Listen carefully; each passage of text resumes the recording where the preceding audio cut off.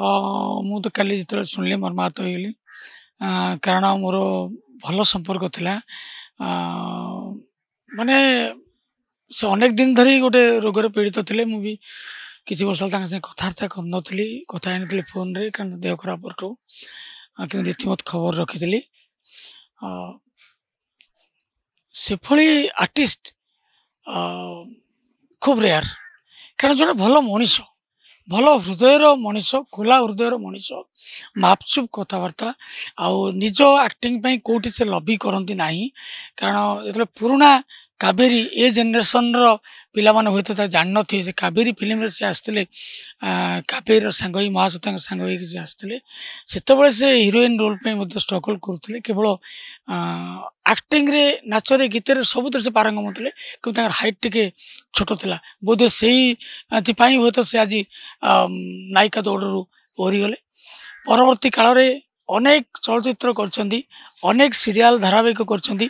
ଦୂରଦର୍ଶନର ଗୋଟିଏ ଧାରାବାହିକ ଥିଲା ଅପରାଜିତା ଯାହାଙ୍କର କାହାଣୀ ଚିତ୍ରନାଟ୍ୟ ମୁଁ ଲେଖିଥିଲି ଏବଂ ତା ଦେହରେ ଗୋଟେ ଗୁରୁତ୍ୱପୂର୍ଣ୍ଣ ଅଭିନୟ ସେ କରିଥିଲେ। ଗୋଟେ ଗୁରୁତ୍ୱପୂର୍ଣ୍ଣ ଅଭିନୟ ସେ କରିଥିଲେ ତା ଦେହରେ। ଆଉ ମା ରୋଲ୍ କରିଥିଲେ ଚମତ୍କାର ଆକ୍ଟିଂ କରିଥିଲେ। ସେତିକିବେଳେ ତାଙ୍କ ସହିତ ମୋର ପରିଚୟ ହେଇଥିଲା।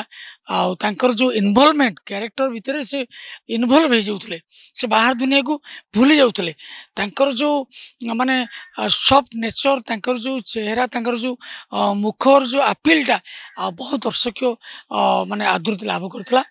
ପରବର୍ତ୍ତୀ କାଳରେ ସେ ସିନ୍ଦୁର ବିଧି କରିଛନ୍ତି ସେ ମାଉସୀ କରିଛନ୍ତି କେମିତି ବନ୍ଧନ କରିଛନ୍ତି ସିରିଆଲ ବେଶୀ ତୁଳସୀ ତ ସିରିଆଲରେ ସେ ବହୁତ ପପୁଲାର ହେଇଗଲେ ଭାଉଜ ଭୂମିକାରେ ବହୁତ ପପୁଲାର ହେଲେ ଘର ଘର ବହୁଲ ହେଲେ ଆଉ କିନ୍ତୁ ଗୋଟିଏ ଇଚ୍ଛା ଥିଲା ତାଙ୍କୁ ଗୋଟେ ଚଳଚ୍ଚିତ୍ରରେ ଗୋଟେ ମେଜର କାଷ୍ଟ କରିବାକୁ ତାଙ୍କର ବହୁତ ଇଚ୍ଛା ଥିଲା ଏବଂ ଯେତେବେଳେ ସେ ଦେଖା ହୁଅନ୍ତି ଯେତେବେଳେ ସେ ଫୋନ୍ କରନ୍ତି ସେ ଗୋଟିଏ କଥା କହନ୍ତି ସାର୍ ମୋ ଆଶା କେବେ ପୂର୍ଣ୍ଣ ହେବ ଆଉ ସେ ଆଶା ରହିଗଲା ମୁଁ ଭୀଷଣ ଭାବରେ ମାନେ ଦୁଃଖିତ।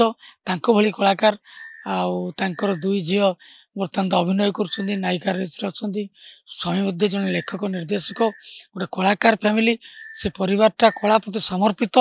ସେଭଳି ଜଣେ ବ୍ୟକ୍ତିତ୍ୱଙ୍କୁ ହରେଇ Odia cine industry Odia television industry ଗୋଟେ ମୂଲ୍ୟବାନ ଜୀବନକୁ ହରେଇଲା ଏଥିରେ ସନ୍ଦେହ ନାହିଁ।